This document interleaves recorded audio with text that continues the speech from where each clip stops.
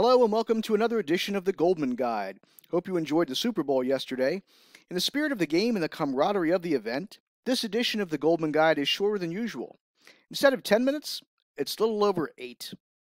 That's okay though because we still have invaluable information here, especially today's featured stock. It's an unusual pick, it's related to news, it's in the defense arena, and we believe that it could have a little run to begin with this week if investors can put two and two together with respect to what the company does, where their strengths are, eh, recent and potential news.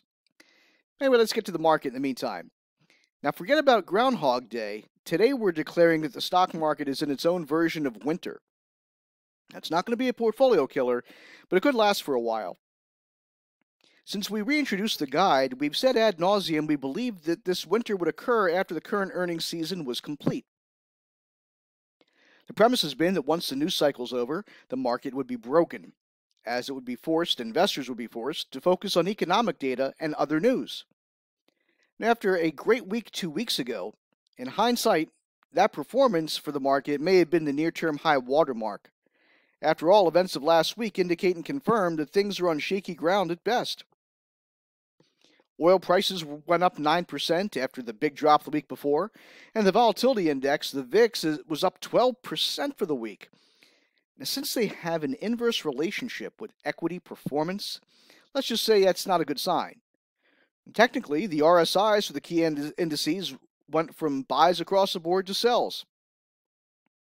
The 50 and 100 day moving averages are also screaming sell, saved only by the favorable 200 day moving average. Meanwhile, the AAII Investor Sentiment Survey is showing a weak bearish stance. And that's a real negative barometer. Bearish percentage right now is only 25%, which is below the long term average. And oftentimes, uh, that portends we could see some uh, downturns in the near term.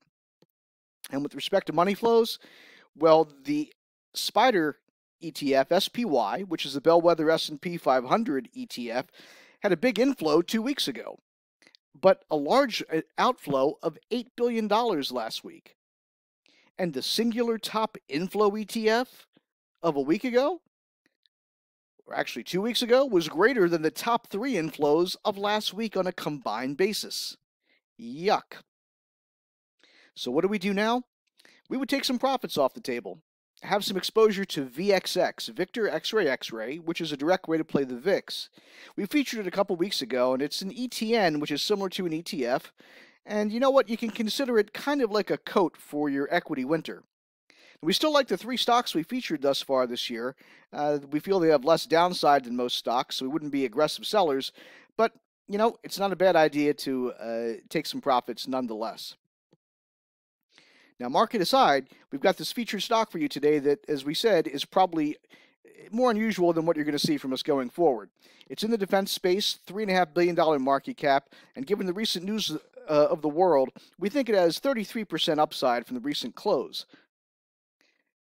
You recall uh, how uh, the United States shot down a Chinese surveillance balloon? And then a few days later, there was a mysterious UFO shot down over Alaska? And a couple days ago, an unidentified object shot over Montana and Canada. And of course, it was a laser show over Hawaii. Well, these are all events of, of, of the past week. In my mind, when you see things like that occur, it makes sense to get exposure to a company that specializes in counteracting this. It's called space sensing, and it's the next generation of missile defense, defense against drone fleets, and UFOs. What's the firm? Leonardo DRS. Ticker symbol DRS on NASDAQ. Now, they just completed a merger with the Publico in November, ironically and totally by chance, an aerospace and defense company I covered in the mid 90s called RADA. Leonardo, Leonardo itself uh, uh, is a division of, a, of, another company. But in any event, uh, DRS is an innovative and agile provider of advanced defense technology, and they specialize in advanced sensing, network computing, force protection, electric power and propulsion, which are basically mission critical technologies to defend against new and emerging threats. Now let's look at the numbers before we go back to uh, the core business. Stock closed at 1351. It's about 20% off its uh, year high.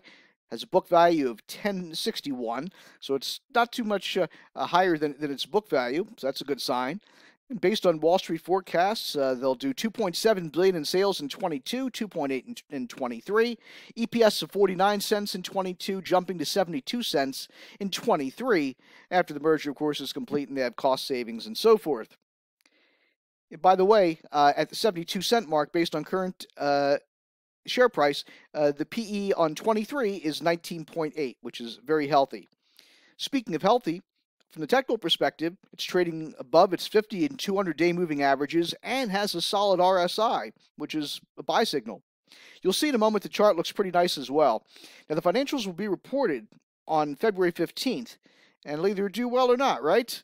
Uh, I expect there may be some oddities related to some extra expenses due to the transaction, but the focus should be on guidance for 23, potential guidance for 24, uh, and uh, these business lines uh, related to space sensing and other integrated sensing um, and, and missile defense. So, space sensing, what exactly are we talking about here? We're talking about monitoring and shooting down things that are in low Earth orbit. It could be satellites, they could be hypersonic missiles. Of course, uh, they could be, and perhaps have been, uh, these unidentified objects, whatever in the world, whatever the world they, they have been. Um, but the, this market is expected to reach $2 billion in the next five years. And we're speaking of space sensing and, and this whole, uh, anything related to uh, defense in space, right? Uh, so this is a huge market, and these are great players, one of the leaders uh, in this technology. Short-range air defense, integrated sensing, and space sensing. As I said before, it's a nice chart. We think the stock can reach the $18 mark by year end, uh, and that would give it a 12-month forward PE of uh, 25 based on current price, uh, based on the $18 price. Um, so that certainly would be reasonable at the end of the year, uh, since it would be uh, trailing 12 months rather than forward. So uh, that's a great price, um, and we think it's very achievable. quite frankly, if, if, we could see some action, price action in the stock just uh, uh, this week, if people can put two and two together about uh, uh the space sensing and these events and potential events.